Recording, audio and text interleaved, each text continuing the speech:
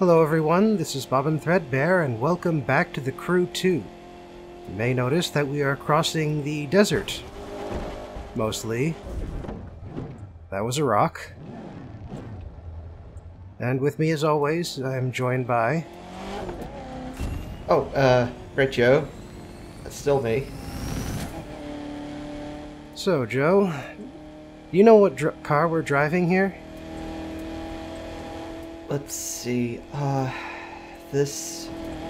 I'm gonna guess it's a Jeep? No, no, it's not by Jeep. It, it is uh, an all-terrain kind of vehicle, though. Oh, this is a Hummer, isn't it? Well, you'll be able to see it in pretty soon. We're getting close to the uh, off-road headquarters, hence why we're going across the desert here. Wow. And pretty soon I will switch the camera view to an exterior shot. Oh. Oh, oh no! Bobbin! How could you do this to me? oh, fuck it. Not just a Hummer, but the most patriotic Hummer you'll ever find. Oh, this is. This is horrendous. I, I actively hate this thing. oh. It's amazing what the kind of paint jobs you can get for in this game, though. This is a custom job, ain't it? Sort of. I'll get more into that eventually. But for right now, this here is Tucker. Hi, Tucker. This is the ace for the off-road uh, discipline. Alright. And your fixer is a guy called Wade. Now, the off-road uh, discipline has sort of an interesting twist to it because Wade is the asshole and Tucker is the nice guy. Huh. Also, this is your reward for uh, beating Tucker, a helicopter.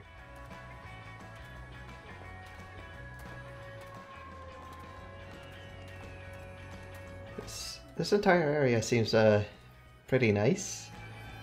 Yeah, it's got all the basic, same basic booths and um, four disciplines, so you can check out four different kinds of cars. But now let's get started on some of the activities you can do, starting with the rally raid. Oh man, yeah. That's something that, that you didn't really see a lot in games of the time. Still don't.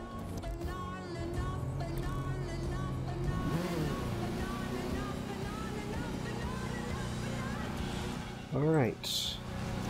So, this is the Ariel Nomad. Oh yeah. It's basically a dune buggy, designed for going off-road. Yeah, I- remember seeing the PR material for this thing. It, uh, these things got sent off to a lot of reviewers. Oh.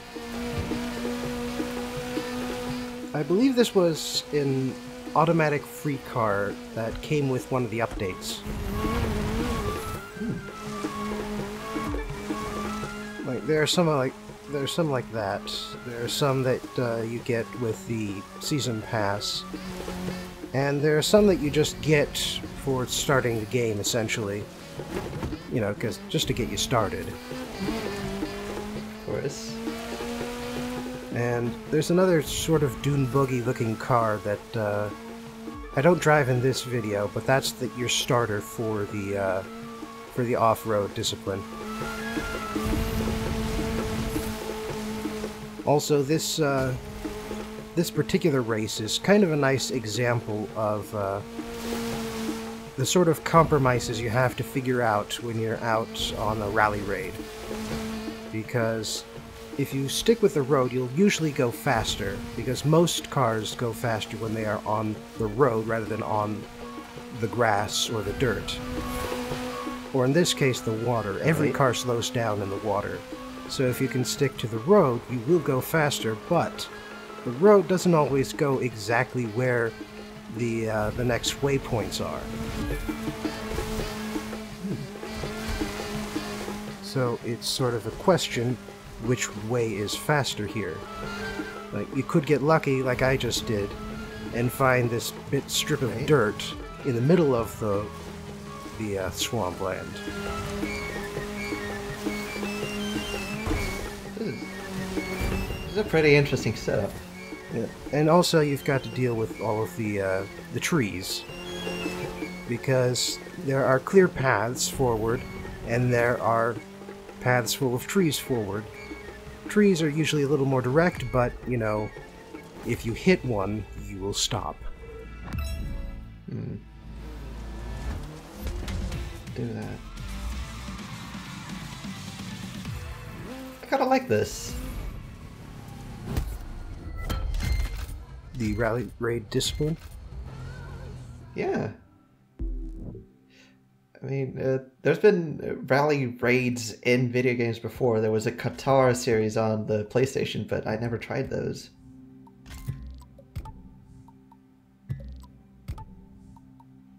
So right now, I'm actually downgrading this vehicle so that I can put all the best parts on a different one, so I can show off, you know, multiple uh, vehicles. Huh. And I am showing this off now so that you can see what's going on, but I will be cutting it out when I do it more than uh, a few more times in this video. Like, I've only just now gotten performance level parts good enough to beat the uh, second difficulty level. And that's another interesting note that uh, the initial difficulty level is different for each race. Like you saw it started at 40 there, there are others that are like 60. But when you hit the second difficulty level hard, it is always 110. Every race. Oh man, that's a rough. Three, Yeah. two, And then of course Ace is always max. So, uh, you uh, you haven't got the Ah crap. yeah. So this vehicle here is essentially a uh, modded Porsche. Yeah, these things uh, come up whenever they can't get the Porsche license. They just get uh, RUF and RUF supplies the same model. Yeah. Well, there are Porsches too. Ooh. This is by a company that specifically takes Porsche bodies and mods them.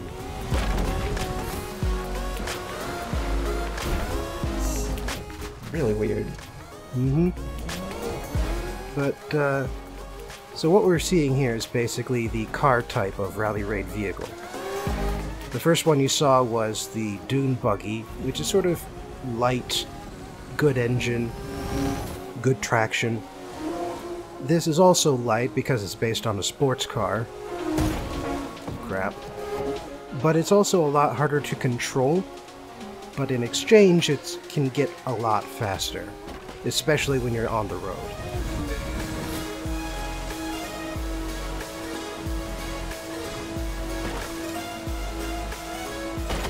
You saw me there, just uh, braving the forest. Yeah. Through there at least. And you saw the arrows there pointing in two different directions. Whoops. And yeah, either one is valid. I mean, obviously, one of them is faster, most likely, but.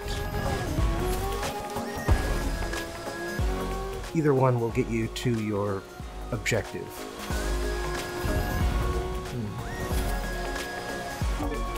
And here you can see me uh, making up a hell of a lot of last time in this vehicle.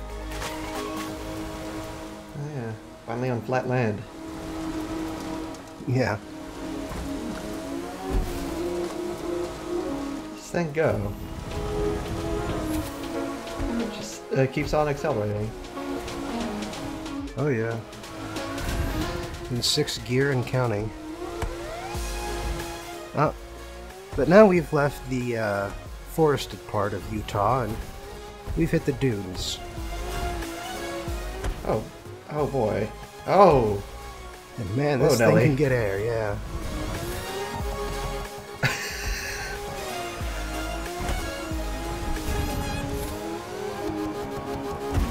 Yeah.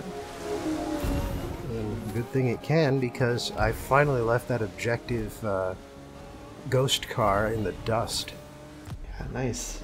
Well, damn. You busted Wade's record good. Too bad he wasn't here to see it. Oh yeah, one thing I have failed to mention is that uh, in the process of beating Tucker to become the ace, you also beat Wade to make him go away forever. Oh, nice. I wouldn't have it any other way, really. See, the Red Bull car there, that's the one that you get to start out in off-road. Well, they are everywhere. Especially in this game, uh, you get the whole Red Bull catalog. It's kind of weird to me, especially considering Red Bull actually has like uh, people uh, reviewing sports games, including racing games.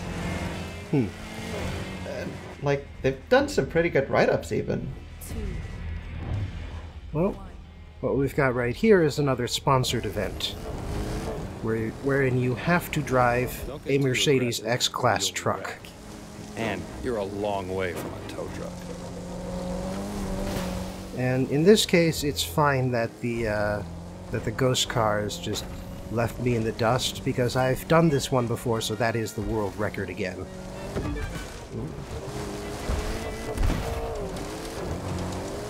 Well, that clearly wasn't the way to go. Apparently, I just chose the worst possible path through that particular bit of woods. But uh, incidentally, the Mercedes X Class uh, race here is a little unique in that when you win this race, you get the car. Oh, right, and you can upgrade it. And, Yeah, ah, as opposed to having to buy it and then so that you can upgrade it. This one, it, it is part of the winnings, is getting the truck. I wonder why they didn't do that for all these sponsorships. I don't know. Maybe they made the sponsors pay extra. Oh, look at all that expanse. Oh yeah, yeah. Good sight lines from up here on the mountain. This is a moment you don't get in a whole lot of racing games. Mm-hmm. But uh, let's see. Oh yeah, the the car model that you're looking at right now is actually the default model. I haven't modded this at all, so the weird tonneau cover on the back with the two tires sticking out of it. That's apparently standard. At least for this. Whoops. At least for this version. Yeah, As is the orange paint job. yeah. I, I wasn't gonna ask, but I am judging. It's a terrible paint job. I'm sorry. Well, go ahead. It's not mine, like I said.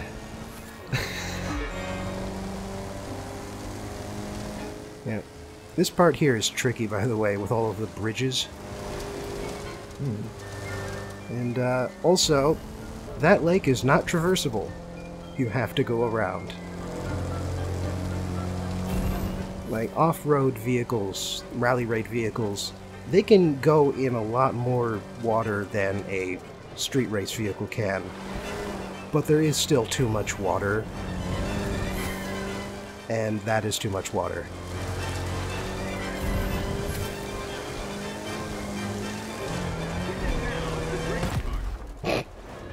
Well, I, I ran into the finish line, but it, it counted at least. You got a corner in there. It's fine.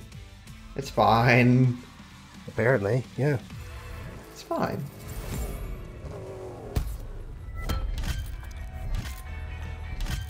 There we go. There you go. And that is, by the way, the truck type uh, off road vehicle. Hmm. The truck has mass on its side, so it's not easy to push out of the direction you want to go in. Which, uh, when you're going at high speed in this kind of condition, that can be important. Also, you may have noticed, but if a race has a different image on it, that usually means there's something special about it, like a cutscene. Oh man. Are you gonna face a bear? No. We might see one, though. Ooh.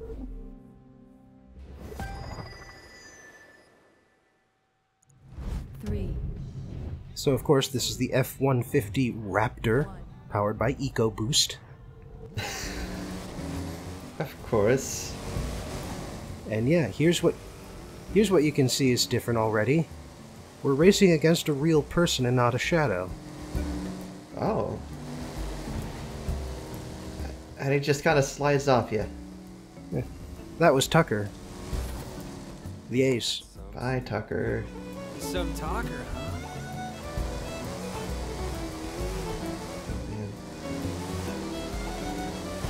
Watch yourself. This terrain is tricky. It's easy to get wrecked. And as you can hear, I chose some oddly sedate Buffalo, oddly sedate music. Hmm. But I think it's kind of fitting. At least it fits Tucker's personality. Yeah, like just from his posture, I, I, I kind of felt that they were going for the serious rally personality. Crap. mostly about sportsmanship. It's the journey. Except in this race, it's both. Careful, he's gonna want to stop the race to meditate. He's a hippie, essentially. Rude. Oh, And the reason he goes into the off-road discipline is because he is just as interested in the scenery for real. as he is in beating his opponents. that's fair. That's why he's invited us to this race in particular. It's pretty. Oh crap. Oh, This is not where I Oh, wanted no. to go. On the bright side, there's a road down here. there it is.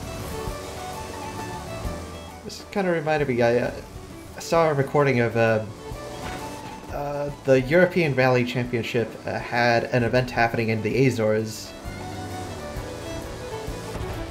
and it, it's a crescent-shaped island, and they went along the top of like the mountainous ridge, just that goes all the way along the island.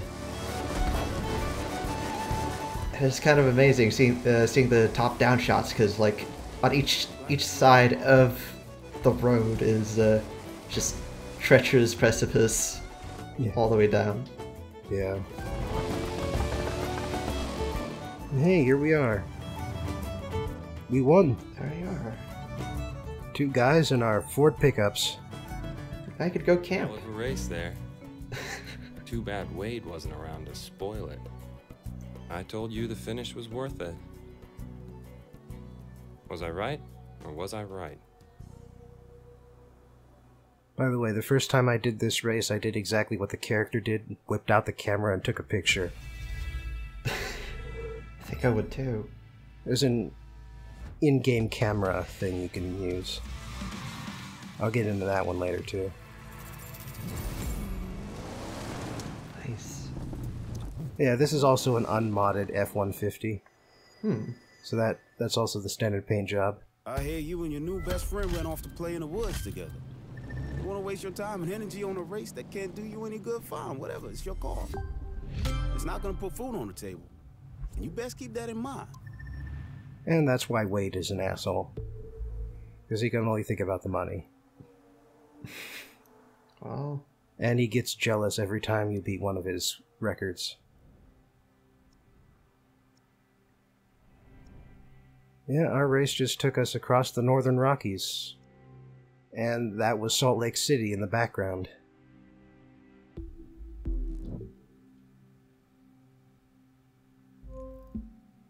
Alright, but I think that's enough of the, uh, you know, the rally races for now.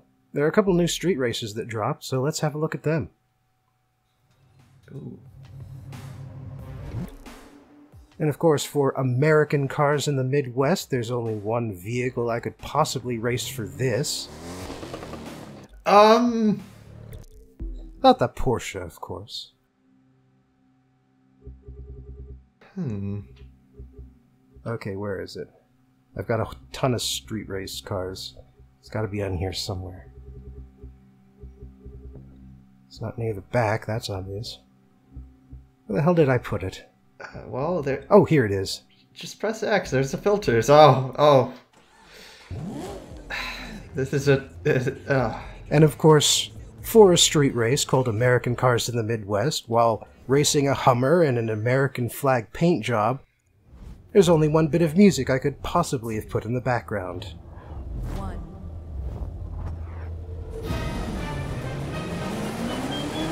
well, Drive like it means something. Stars and stripes forever, baby, yeah! What's that? Is there a car in front of me? I didn't even notice. Uh, Oh crap, there was a turn, I noticed that. This is a lot. yep. Alright. This is a very uh, bullheaded driving style. I figure that's on brand. Well, there's really al- no other way to race this thing. Because you're not going to be able to turn it, that's for sure. Oh crap. If any car would be able to get through th- those uh, steel barriers, I feel it would be this thing. Yeah. Well, luckily they're invulnerable, so. It's very lucky. Also, I I can't stop hating this thing. I'm sorry. This is too ugly. Oh yeah, yeah, I also made sure to pick the worst possible parts when I was modding it. Oh, look at that rainbow. Yeah. Like this is another one of the races where they uh, changed the at the uh, the weather and the time of day, Yeah. and they really uh, did a good job with it. Especially by making sure that the uh, rainbow you would be pointed at the rainbow throughout most of the race. Do appreciate it. Also, a lot of uh, corn and wheat fields out here. Oh, yeah. The most American crop, of course.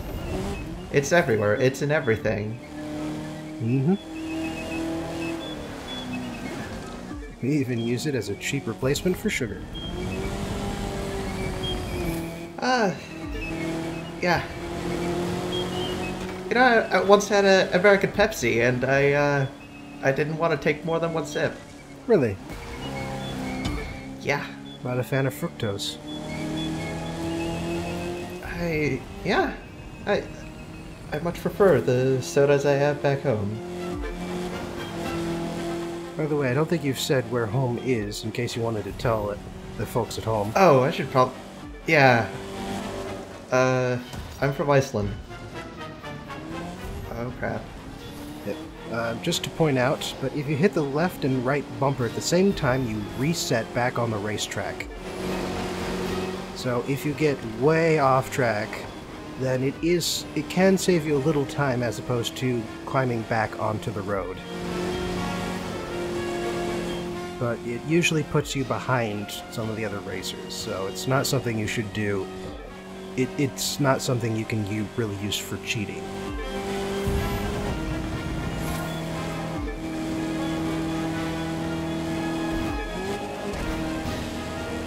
I think this might be the scariest race you've run yet. In terms of what? In terms of the poor other racers? In terms of, I know that if you make one false move, you're gonna crash into something very hard.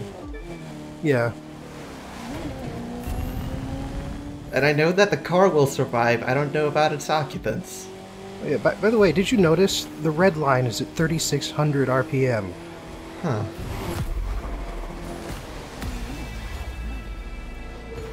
And here's me going over the ledge. Well, it is a truck. Yeah, but even the trucks that I drove earlier have higher red lines. Yeah.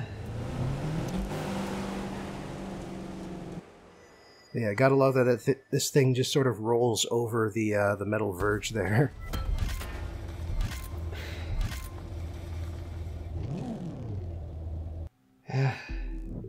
Well, there is one more new street race, so let's go ahead and see that. Oh boy. Along the Mississippi. Well, I think I've got something appropriate for this race, too.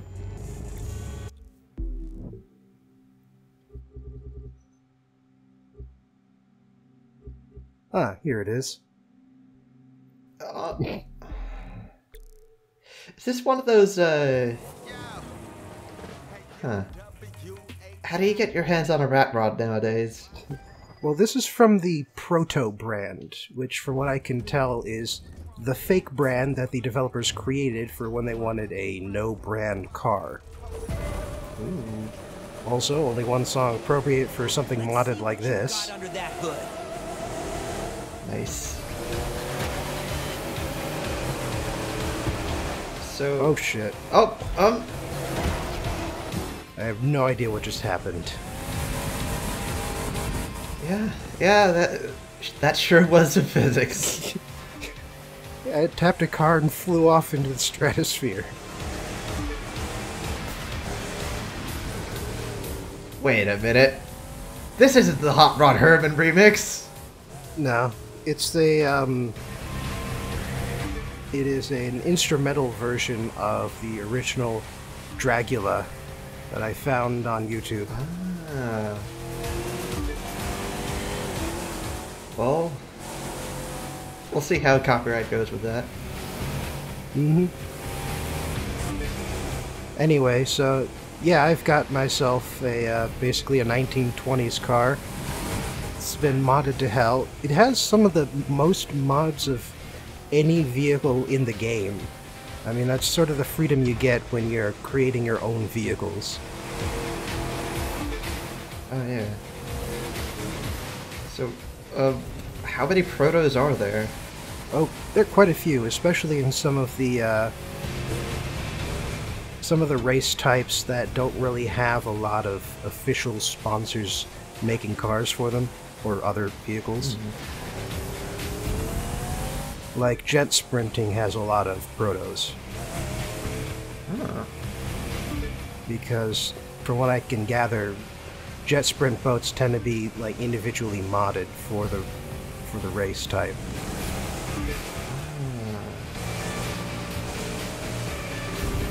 And uh, interesting note: this vehicle is not only easier to control than the Hummer, but also easier than the uh, than the ancient Ford uh, Ford Mustang. Alright. But on the other hand, I have got this thing on 280 performance level, the highest possible, and I am competing on even ground with these guys on the easy race difficulty. Oh. So it kind of tells you the limits of the chassis right there. Yeah, I guess. Uh, there's only so much you can do, do when you're working with that kind of old tech. hmm But it is kind of fascinating how relatively easy this is to maneuver, especially on wet pavement. Yeah. I think we're passing a um, nuclear power plant right now. There are a couple of those on the map. Nice. Never been close by one of those. I'd love to see one. Not much you can really see. Most of the stuff is on, you know, restricted land. Oh dang. That is the Mississippi on the right there. Yeah. Just goes on and on. Yeah? One of the longest rivers in the world, and it would be the longest if you counted from the beginning of the Missouri River. Uh,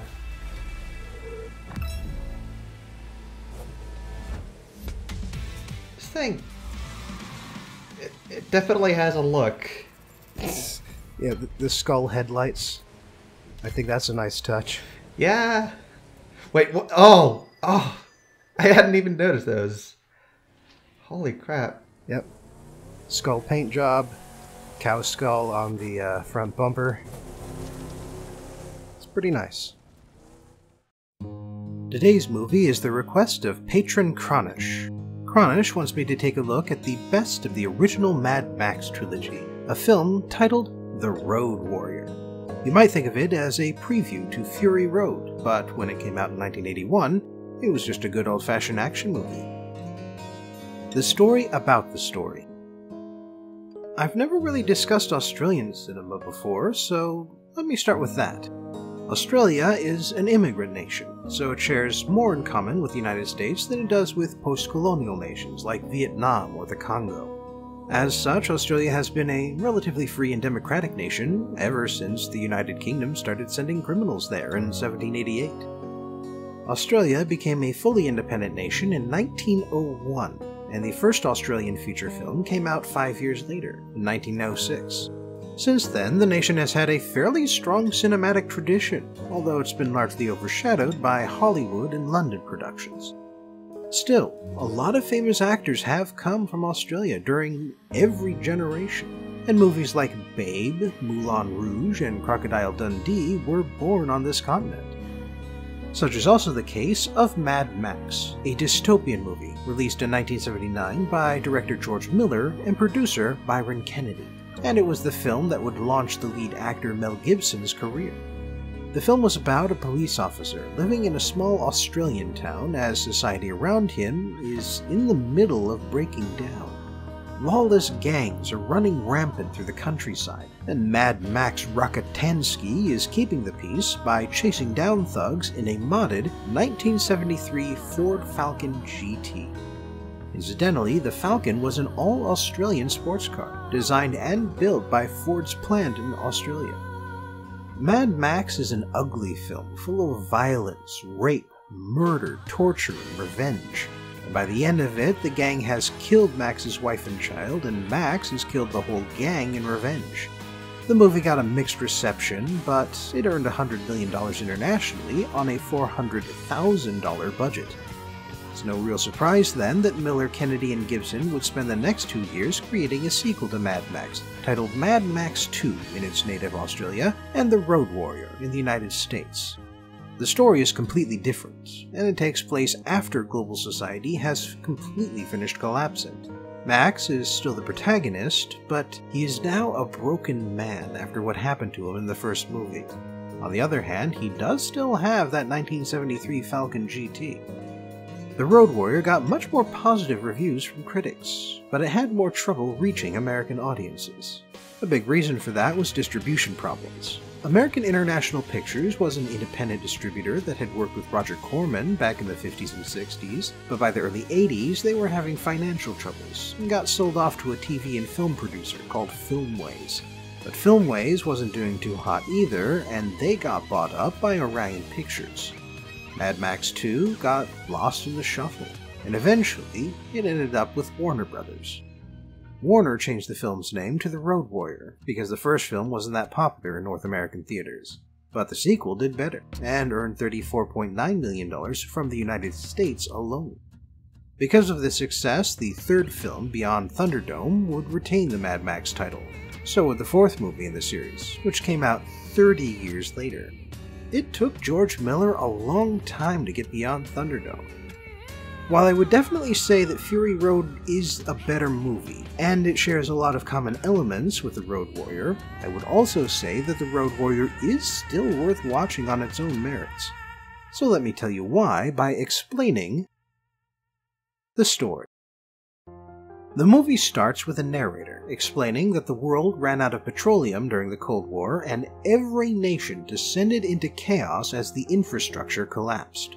Gangs took over and performed terrible acts just to survive, and after his family died in the first movie, Max became a shell of a man who wandered out into the wasteland. Sure enough, the movie proper begins with an action scene of Max running from a motorized gang. He outdrives the bad guys in his Ford Falcon, and when the last one tips over, he grabs his fuel can and jumps out to salvage what he can from its leaking gas tank. He doesn't react when the surviving driver pulls a bolt out of his arm and screams at him, and all he does when he sees a dead guy in a truck is grab a music box out of his hand. Later on, Max comes across a tiny gyrocopter randomly sitting in the middle of the outback. It looks abandoned, but when Max gets closer, its owner jumps out of a sand pit and points a crossbow at him. He wants Max's gas, but Max tells him it's booby trapped. The man doesn't let that stop him, but when he opens the Falcon's door, Max's dog jumps out at him. At this point, the man instantly becomes a coward and promises to tell Max where to find thousands of gallons of gasoline if he'll simply let him live.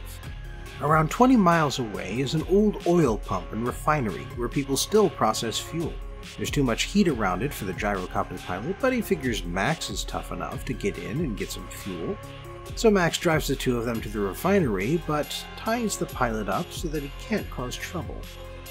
As they observe the refinery, the pilot explains that it's been under siege for at least a week, and Max recognizes a couple gang members from the group that harassed him earlier. The pilot asks to go free at this point, but instead, Max ties him to a tree and keeps watching the siege. That night, the besiegers make camp, and the next morning, three cars leave the refinery compound and go in three different directions. The besieging gang quickly pursues them, and so they don't see when a fourth car heads out in a fourth direction. Max keeps track of the fourth car, and eventually the gang notices it and chases it down. The occupants are a man and a woman, and after shooting the man, the gangsters start raping the woman. Most of the gang leaves afterwards, so Max races down in his car. He's too late to save the woman, but he's at least able to take revenge and bring the man back to the compound since he's only wounded.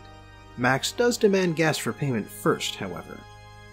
Unfortunately, the man dies when they reach the compound, and the people there are too hostile to honor his deal. However, before they can kill Max or send him away, the gang comes back and the compound locks down. The gang has all the surviving compound drivers tied to their cars, and after his toady introduces him, we hear a speech from Lord Humungus, the guy is wearing a black leather gimp suit and a steel hockey mask, and let's just say that it doesn't stand out from the rest of the gang's fashion sense. Humungus chastises the compound dwellers for trying to get around the gang to find a big rig truck that can pull their tanker trailer, since if they had that, they'd be able to leave the compound for good. Humungus tells them that he'll spare their lives if they just walk away from the refinery, and he gives them a day to decide. The people in the compound start arguing about whether or not to take Humungus's offer, but then Max speaks up. He saw a semi-truck in good condition during the opening car chase, and he can solve their problem and earn himself some fuel by helping them get it. They work out the details that evening, and when night falls, Max and his dog sneak past the gang with a few full gas cans. The next morning, they encounter the pilot, whom Max had left tied up, and the two head back to the pilot's gyrocopter. They use most of the gas Max brought to fuel the copter, and that gets them to the semi. Once he gets it running, Max again leaves the pilot behind, but this time he sets him free first. Nevertheless, the pilot follows on his gyrocopter, mostly because he wants his share of the reward. On the way back, Max has to drive past the gang blockade. They take out a few tires, and Humungus uses a precious bullet to shoot the engine, but he only gets the radiator, and Max manages to drive into the compound. Several gang members follow him in, but eventually they get chased off or killed. The pilot lands in the compound too, having done a few things to help. That night, Lord Humungus intimidates the compound by killing his captives on the ridge and ranting all night long, and Max gets ready to leave. The pilot tries to convince a young and pretty member of the compound to sneak away with him, but instead, she convinces him to stay. The compound leaders ask Max to drive the rig, and they promise to bring him along for the 2,000 mile drive to the coastline that they're planning. But they push him too far, and Max punches one of them. He leaves just before sunset, but the gang catches up to him using nitrous oxide, and they hit Max until he rolls his falcon. Max crawls away in time to avoid the gang, but they kill his dog, and then they set off his booby trap, blowing up the car and all of its fuel. Fortunately, the pilot spots the smoke plume and rescues Max. Max is in bad shape after the crash, but he recovers in time to volunteer for driving the big rig. With his car gone, he's got no hope of surviving on his own now, so they let him help and they give him all the spare shotgun shells they've got. And the next morning, the compound breaks out and splits up. Max and a small escort will protect the tanker truck, and the rest of the dwellers will use this school bus and other vehicles to make their escape in other directions, and meet up at a chosen rendezvous point. The plan for this escape works, and the gang focuses completely on the big rig. The last 20 minutes or so is one long chase scene between Max and the humongous gang. Max and the guards on the truck whittle down the gang one vehicle after another, but the guards get whittled down too, and there aren't nearly as many of them. With the guards gone, the gang members start climbing onto the rig and attacking Max directly, and they start taking out the tires again. They even shoot down the gyrocopter, which was a part of their escort. Eventually, Lord Humungus rams the truck in a head on collision, and while his makeshift vehicle evaporates from the crash, it does force the truck off the road and off its tires. At which point, we see that the tanker is full of sand. The refinery people hid all their actual fuel in the bus and the passenger cars. Max manages to survive the crash and discover this fact, and the gyro pilot also turns out to have survived. But while the pilot meets up with the compound group and becomes their new leader, Max chooses to stay behind in the wastes. And that is how the movie ends. The cars. There was a lot of off road driving in the game today, and there was a lot of off road driving in the movie, so I figure the most appropriate car discussion to have today is off road vehicles. And off road vehicles are easy enough to understand because I can sum it all up for you in a single word grip. Every land vehicle in the world moves you around by pushing against the ground. Your feet do this for every single step you take. And as you might have noticed if you've ever tried running across a patch of ice, you're not going to move anywhere if you don't have any grip. Asphalt and other road surfaces offer a solid, flat, dry surface that gives you all the traction you need without creating so much friction that it slows you down. However, other surfaces aren't nearly so kind. Dirt and sand are loose, so when your tires push against it, they tend to push the dirt out of the way instead of pushing the car forward. The water on wet surfaces can actually hold the car's weight, kind of, when the car is moving fast enough, and when that happens, it's called hydroplaning. Hydroplaning is really bad because water has much less friction than solid surfaces, and you will instantly lose control of your vehicle. This is also what happens with ice, because when you put pressure on ice, it creates a thin layer of liquid water that refuses to give you any grip at all. Then there's snow, which combines the worst traits of dirt and ice, and mud, which combines water and dirt. Another thing, when you go way off the beaten path, you can end up with surfaces that aren't even remotely flat. Sand dunes and muddy slopes are much harder than flat surfaces to cross because you need extra power and extra grip to get up that slope. And then you need extra grip and control to go down a steep slope. Then there are rocky riverbeds and forests where fallen trees cross the path. And to get across these terrains, you need grip, power, control, tires that won't pop easy, and an undercarriage that won't get disemboweled by sharp rocks or broken branches. And so true off-road vehicles come with all of these things. The idea of an off-road vehicle goes back much farther than the automobile does. Carts and carriages are older inventions than the paved road. And in certain times and places, carts would create roads by killing the grass along the path that a farmer would always take. The reason paved roads came around is because dirt roads would start getting ruts, and a rut can kill your cartwheels if they get deep enough.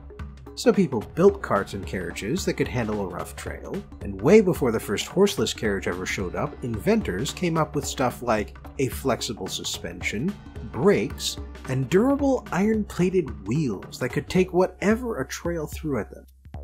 Today's automobiles use basically all the same elements as the horse-drawn carts that came before them, but all of those elements are a lot more advanced than they were before.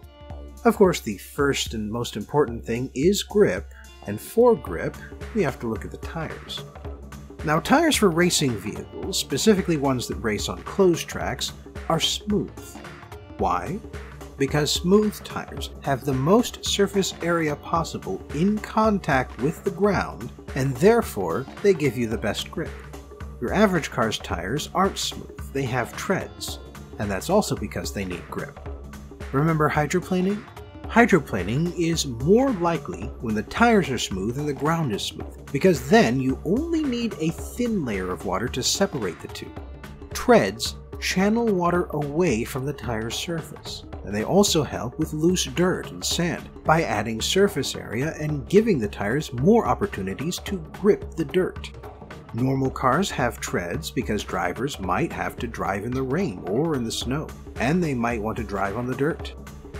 Winter tires have extra treads to give you a better grip in bad conditions, and summer tires have fewer treads to give you a better grip in good conditions. Off-road tires have deep treads to give you the best grip in terrible conditions. So then, above the wheels is the suspension. Cars have a suspension to protect the wheel axles from getting damaged by sudden bumps, and to keep the passengers from feeling those bumps. A few too many bumps can really do a number on your spine. Off-road vehicles expect to hit a lot of big bumps, and so off-road suspensions make protecting the axle their priority. That's why off-road vehicles aren't really known for offering a comfortable ride, with a few notable luxury options as the exception. Off-road vehicles also tend to have something called a locking differential. Pretty much every modern car comes with a differential, a thing that lets the wheels on the same axle spin independently. You need this because when you turn, the wheels on the inside move slower than the wheels on the outside. If they had to move at the same rate, you'd lose grip, and I think you know how bad that is. On the other hand, because of this differential, if one of the wheels starts slipping, then all of the engine torque will go to that spinning wheel, leaving none for the tire with grip. A locking or limited slip differential lets you lock the axle and force the engine to give both wheels the same amount of power. You wouldn't use this for ordinary driving, but it does come in handy for deep mud puddles and sand pits. Of course, off-road vehicles also usually come with four-wheel or all-wheel drive. And thanks to automated systems, these drivetrains can handle a lot of the same torque control you get from a locking differential. Then there are skid plates. Skid plates are easy to understand. They're basically a set of steel armor plates that protect the undercarriage from rocks and other debris. Next is ground clearance and approach angles. Sports cars are built close to the ground because that gives them better downforce. Downforce is important because if you drive too fast with too little downforce, you can end up flying right up off the ground. When that happens, you lose grip, and we all know how important grip is. But being low to the ground means that you can't drive up on a curb without hitting your front bumper, and you could even get stuck on a steep driveway. Off-road vehicles have to face a lot worse than that, and so they benefit from having extra ground clearance and a bigger approach and departure angle. The way that you measure those numbers is by checking the angle between the base of the tires and the overhang of the bumpers. Bigger angles let you drive the car up steeper ramps. Another important feature is water fording. The average on-road car can get swept away by as little as one foot of water but an off-road car can tackle two, even three.